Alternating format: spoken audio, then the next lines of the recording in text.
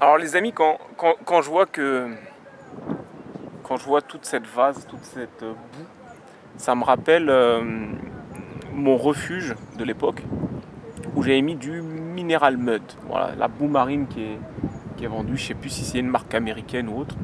Et, euh, là effectivement euh, c'est carrément ça quoi, dans, dans,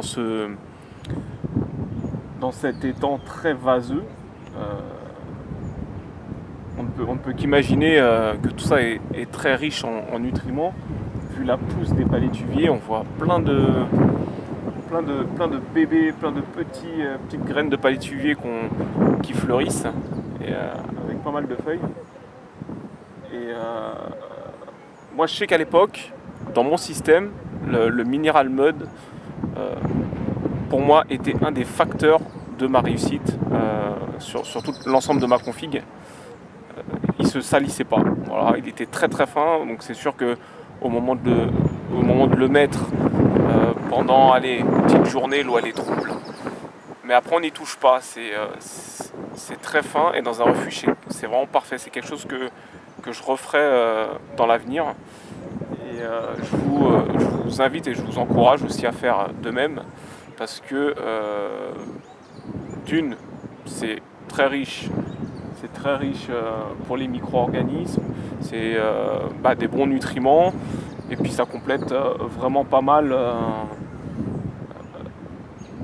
tout ce qu'on peut ajouter de, naturel, si je peux, si je peux dire ça, dans, dans, notre configuration pour arriver à un résultat le plus proche possible de ce qu'on voit dans la nature.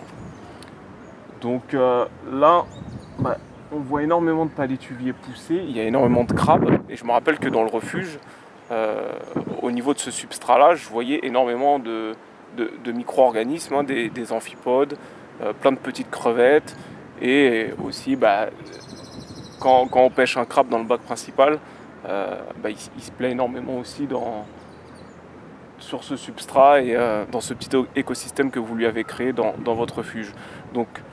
Boue marine, palétuvier, je pense qu'en aquarium c'est quelque chose de sympa, même si effectivement ça fera pas toute votre filtration.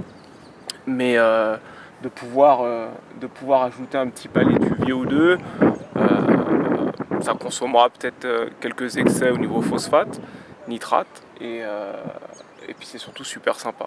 Alors reste, reste encore pas mal de choses à voir. parce que c'est vrai que c'est bien de pouvoir mettre un palétuvier, mais s'il devient encombrant. Est-ce qu'on a pensé à, la suite si jamais il dépasse 1 mètre Est-ce qu'il va pas buter dans, une des parois de votre aquarium? Euh, Je sais que de mémoire, il y a déjà eu euh, quelques incidents. Euh, je crois que c'était Sprung qui disait ça. Il avait eu un bac qui avait percé à cause de la force des racines du palétuvier, donc c'est aussi peut-être à, prendre en compte. je sais que certains arrivent à les faire pousser en copiant un peu, euh, en copiant un peu le, système des bonsaïs en fait dans, l'entretien. Je pense que ça, ça doit être une, petite solution pour être sûr de, le garder suffisamment petit et euh, adapté euh, au circuit fermé qu'est un aquarium récifal. Donc voilà les amis, voilà, je trouve que c'est quelque chose qui, voilà, copier une mangrove c'est quelque chose qui peut être vraiment intéressant en lui ajoutant, en lui ajoutant des algues diverses, hein, euh, ou, en, réservant euh, ce, petit bac annexe euh, uniquement en palétuvier, et, ce qui permettrait aussi d'y déposer des animaux indésirables que vous avez ou que vous, trouvez dans votre bac principal. Voilà, donc c'est encore une fois un, petit aquarium sur votre circuit qui peut vous permettre d'arriver à un résultat, résultat le, plus, le plus naturel possible.